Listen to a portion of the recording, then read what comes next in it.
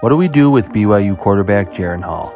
A lot of what he shows on film as a passer, anticipation, pocket navigation skills, touchdown field, all make it seem like he would probably be on the first round radar. And he loves throwing the football down the field. Now, his film is not perfect, but there's a lot of great touch throws like that one, or throws where he needs to show off his arm strength like that one. He's an above average athlete, too, very fluid mover on the field. But he'll be 25 as a rookie.